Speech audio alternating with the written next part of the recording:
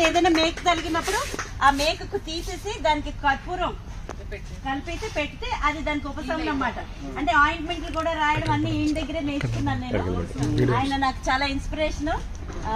ఏది కావాలన్నా మనకి ఎక్కడ ఏది ఎన్విరాన్మెంట్ ఏది చేయాలన్నా ఆయనతో కలిసి చేస్తుంటాను. ఆయన చేస్తూనే ఉంటారు మనం కలవడమే. ఆయన ఒక వ- సముద్రంలో చేస్తూనే ఉంటారు మనం కలవడమే. ఇది అదే మన ఎన్విరాన్మెంట్ కోసం కొన్ని చెప్తారు.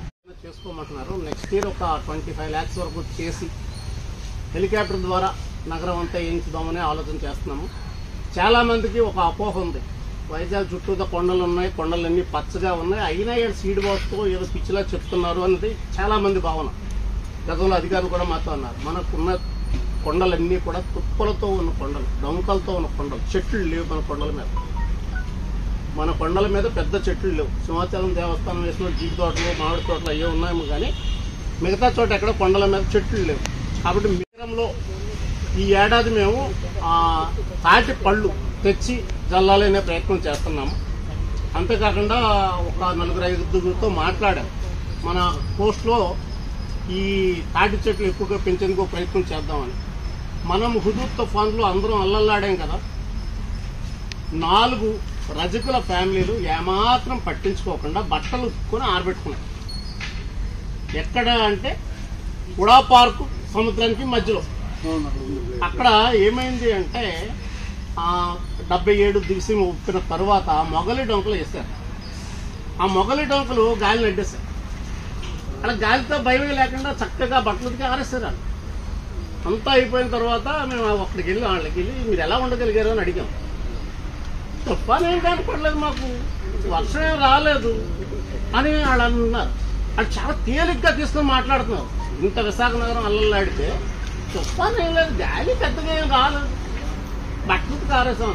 అప్పుడు చాలా మన మైండ్లో పెట్టేసుకొని మనం శరీరంగా స్పర్శ కానీ పిలిచే గాలి వాసన కానీ తినే తిండి విషయంలో కానీ అంత శ్రద్ధ పెట్టడం లేదు మనం కానీ అవన్నీ కూడా చాలా ప్రమాదకరంగా మారిపోయాయి. ఒక వీడియో బాగా సిటీ అంతా వైరల్ అయినప్పుడు మేడం గారు నాకు ఫోన్ చేశారు. రత్నం గారు ఆకుకూరలను అలా చేసేయచ్చా అనేసి. ఈరోజు మా సిటీలో అదే పరిస్థితి జరుగుతుంది. ఈరోజు వచ్చిన కూరగాయలు సాయంత్రంగా వాడిపోతున్నాయి. వాడిపోయినటిని నెక్స్ట్ డే ఏం చేస్తున్నారంటే ఒక బకెట్లో వాటర్ వేసి ఆ కెమికల్ వేసి అందులో ముంచి తీసి పావు గంట పెట్టేటప్పటికి చక్కగా నవనవలాడుతూ ఉంది. ఇంటి దగ్గర వాళ్ళ కూరగాయలు ఆకుకూరలు పండించుకునే దానికి మనం మరలా వెళ్ళాల్సింది ఉంది. అంతేకాకుండా మన ఇళ్ళల్లో నాసా వాళ్ళు చెప్పిన ఏదైతే ఆక్సిజన్ ప్లాంట్స్ ఉన్నాయో ఆ ఆక్సిజన్ ప్లాంట్స్ పదకొండు రకాలు ఉన్నాయి. అవి పెట్టుకోవాలి. అలాగే దోమల్ని నివారించే ప్లాంట్స్ ఇరవై ఐదు వరకు ఉన్నాయి. వాటిని మనం యూజ్ చేసుకోవాలి. అంతేకాకుండా మనం అంతా కూడా చేయాల్సిన పనులు ఏంటంటే లెమన్ గ్రాస్ నీళ్ళలో రాత్రులు ఒక గడ్డి పరక వేసేసి తర్వాత రోజు అదే నీళ్ళు తాగడం అన్నది మొదలెడితే ఒక ఆరు నెలల్లో మన శరీరం మీద ఏ దోమ కరవదు.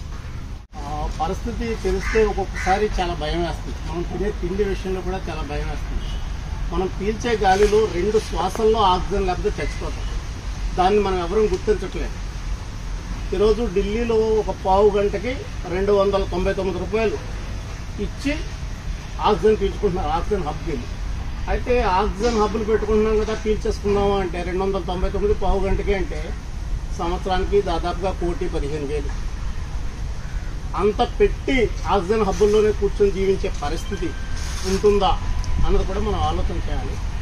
ఒక సెకండ్కి వెయ్యి మెట్రిక్ టన్నులు ఆక్సిజన్ తగ్గిపోతూ ఉంది. ఒక సెకండ్కి వెయ్యి మెట్రిక్ టన్నులు ఆక్సిజన్ తగ్గిపోవడం అంటే ఇది చాలా ప్రమాదకరమైన పరిస్థితి. మన దేశంలో చాలామంది మేము చెట్లు నాటాం ఆక్సిజన్ వచ్చేస్తుందనే అనుకుంటున్నాం. కానీ అన్నిటికన్నా ముందు మన సముద్రాలని మనం కాపాడుకోవాలి. నలభై నుంచి ఎనభై శాతం ఆక్సిజన్ వచ్చేది సముద్రాల నుంచి.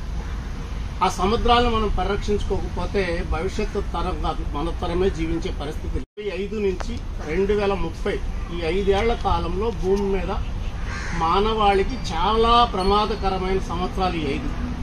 రెండు వేల ఇరవై ఏడు నాటికి భూమి మీద జనాభా తొమ్మిది వందల కోట్లు చేరు- చేరుతుంది అంత జనాభాకి అవసరమైన ఆహారం లేదు. ఆహార ఉత్పత్తి రోజు రోజుకి తగ్గిపోతుంది. ఎక్కడో క్యూబాలో అంటే దేశంలో ఇళ్ళ పైకప్పుల మీద ఎవరింటికి కావాల్సిన వాళ్ళ కూరగాయలు పండించుకుంటున్నారు. ఆకుకూరలు పండించుకుంటున్నారు. అంతేకాకుండా మనం తినే తిండి పూర్తిగా పొల్యూట్ అయిపోయి ఉన్నది. మనం పీల్చే గాలి పూర్తిగా పొల్యూట్ అయిపోయి ఉంది. మనం తాగే నీరు పూర్తిగా పొల్యూట్ అయిపోయింది ఈ పరిస్థితి నుంచి మనం బయటపడాలి అంటే చేయాల్సిన పనులు చాలా ఉన్నాయి. అయితే మీరు ప్రతి రోజు మొక్కలు నాటేస్తున్నారు కదా అని మీరు అనొచ్చు. మేము మొక్కలు నాటుతూనే జనాలకి చెప్పే మాట ఏంటంటే మనం పర్యావరణ హితంగా జీవించాలి అని చెప్పేసి చెప్తూ ఉన్నాం. ఎందుకంటే మనం పర్యావరణ హితంగా మనం జీవించకపోతే మనకి మన తర్వాత తరానికి కూడా ముప్పే.